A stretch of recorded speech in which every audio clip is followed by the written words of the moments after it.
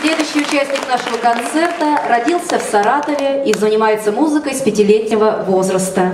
Лауреат всероссийских и международных конкурсов и фестивалей, стипендиат Международного благотворительного фонда Владимира, Владимира Спивакова. Выступает в России и за рубежом, Лауреат национальной премии «Триумф» в номинации «Молодой триумф» за 2007 год в области литературы и искусства. Занимается композицией и аранжировкой. Имеет собственные музыкальные сочинения различных стилей.